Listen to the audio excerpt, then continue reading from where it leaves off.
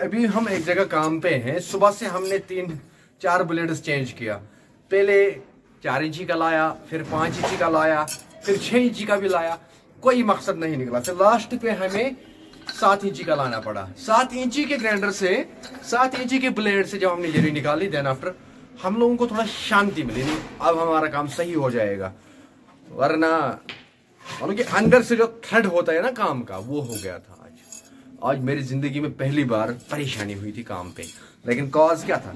Cause ये था, ये छोटा ब्लेड लेकिन मैं कह सकता हूँ कि कोई भी एक प्लम्बर को तीन इंची, चार इंची, छह इंची नहीं करना चाहिए था इस्तेमाल अगर आप लोगों को काम करना है ना, सात इंची। 180 एटी mm का ब्लेड इस्तेमाल किया करो, सात इंची का। तो इसमें इसमें जो है जरी अच्छी से निकलेगी और यहाँ पे आप लोग देख लो, ये दो इंची तक कम से कम जरी निकालेगा आराम से। तो मेहनत कर लो और पैसा कमाओ लेकिन हक का कमाओ। ठीक है शेर भाई शेर भाई हाँ हाँ ठीक है। ठीक है ना? ठीक है। किफायत जाफरी कैसा काम करता है? अच्छा करता है। अच्छा करता है? शेर भाई क्या बोलते हैं? सब्सक्राइब कर लो बोलो सब्सक्राइब करो। दस यूज़ करो माला मदद। दस करो हाँ। मेरे दोस्तों को सब्सक्राइब करो आप सब।